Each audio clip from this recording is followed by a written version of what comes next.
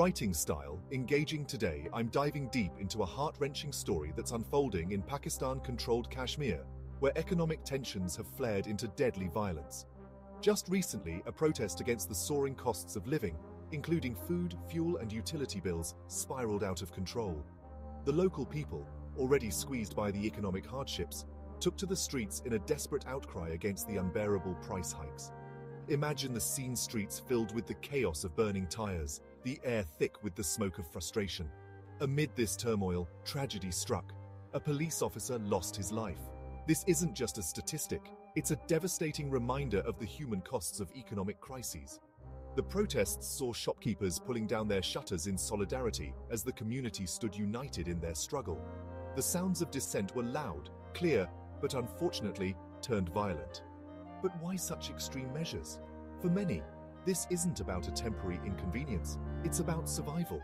When the costs of basic necessities climb, when families struggle to make ends meet, the fabric of society is tested. And it's not just a local issue. The ripple effects of this economic turmoil are felt widely. Last year, Pakistan teetered on the brink of defaulting on foreign debts. It was only through loans from the International Monetary Fund and aid from other nations that a crisis was averted. But the underlying issues, as we see, remain unresolved. In response to the chaos, Pakistan's President Asif Ali Zardari convened an emergency meeting. The aim? To find a way to calm the protests and address the grievances of the people. But the question remains, will these measures be enough? Can peace be restored in the streets of Kashmir, or is this just the beginning of a larger crisis? Understanding these events is crucial.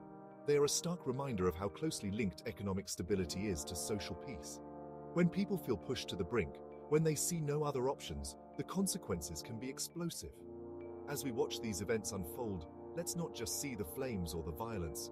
Let's look deeper at the causes, the human stories behind the headlines. And most importantly, let's hope for resolutions that bring real improvements to the lives of those affected. Stay tuned and stay aware, because understanding our world is the first step toward making it a better place. Thanks for watching.